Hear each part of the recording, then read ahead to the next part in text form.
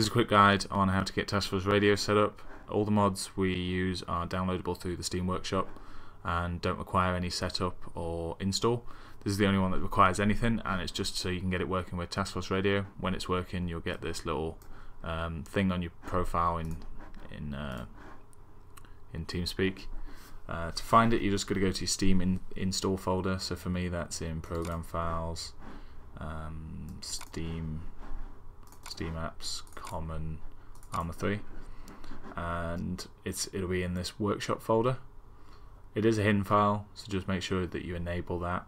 Uh, different operating systems have different ways of doing that. Just Google your operating system and show hidden folders go into there and scroll down and find your Task Force Radio uh, folder and in that folder you'll have TeamSpeak there go into the TeamSpeak folder and you'll find this Task Force Radio TeamSpeak add-on. Uh, the 3.1 compat isn't applicable unless your Task Force is 3.1 version 3.1 um, it's updated now uh, 3.1.6 so all you have to do is double click that you'll come up with this and you press install.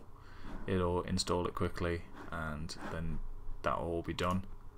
If you want to check that it's working if you just go into tools options or press alt P.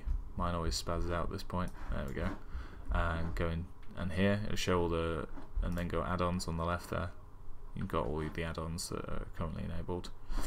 It should say enabled here. If it's not it'll be say disabled. All you gotta do is click that, make sure it's enabled, and then you'll uh, have that there to make sure that you know it's working and the version, whatever the latest version is. One thing to keep in mind, if we go back into the options on the add-ons, uh, you can reload it.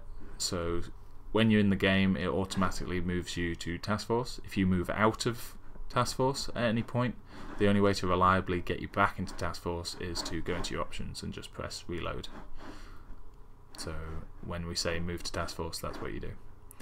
Alright, uh, hope this helped, and I'll see you all later.